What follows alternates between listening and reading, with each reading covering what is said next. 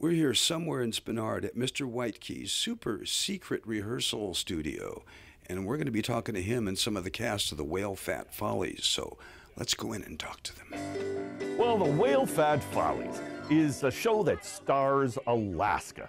You know, what we look at is the real sleazy underbelly of Alaska, and we set it to a happy toe tap and beat. What isn't happening in this show? Uh, we play several different characters. I think we each play like a dozen different characters.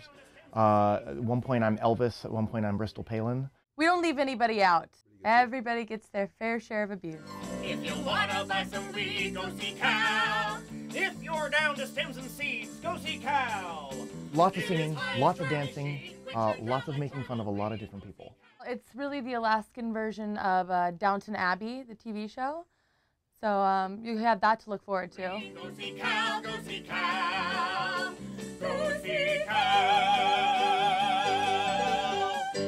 The show is at the Taproot, and it's Monday, Tuesday, Wednesday night, starts on June 10th.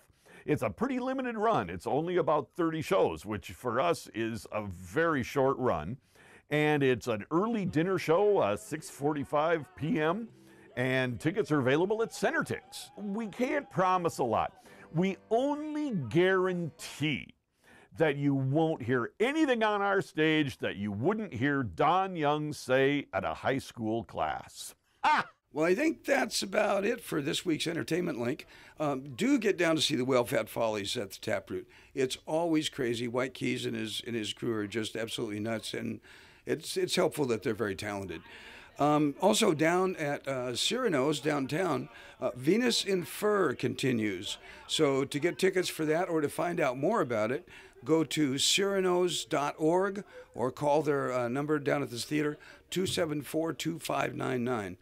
And I guess I don't have anything left to say this week, but I'm Ron Holmstrom, and I'll see you around at all the fun stuff.